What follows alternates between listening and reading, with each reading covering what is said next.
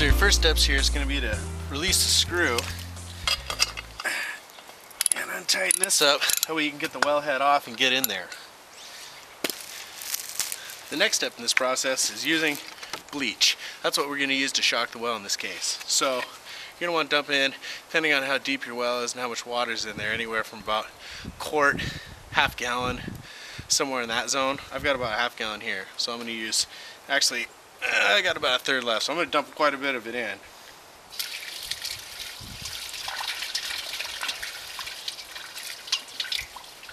Just like that. Now we're going to take the hose in here and uh, let the water start flowing and get this mixed up. Make sure you don't hit the electrical wires either. You don't want to get a shock. There we go. Get that in there and get the water turned on. All right, you can hear water running in here now. So what we're doing is we're gonna mix up the water and the bleach that's existing in the well, get it mixed up, and then when it starts circulating out through the house, we're gonna wanna run the water in the house for about a good hour. And that'll help clean out all the pipes and uh, basically get a diluted bleach solution through there to kill all the coliform and anything else that might be in there that we don't want. All right, we're back in the house and it's been 10 minutes and we're going to uh, now turn on all the water in the house. We're going to want to run in all the faucets to keep uh, the water circulating through all the pipes. We're going to want to run this for about an hour.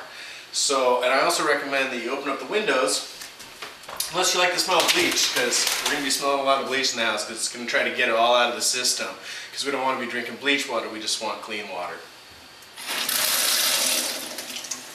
Time to wait. Alright, we're back now. It's been about an hour. Now we're going to do the most important part of the entire test, and that is to take out our test kit and make sure that all the coliform's gone. Um, I like to use Avocet. They're a local company.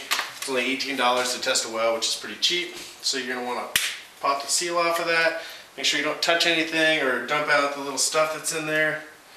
You're going to want to fill it up using an interior tap uh, just over that line that they've got there.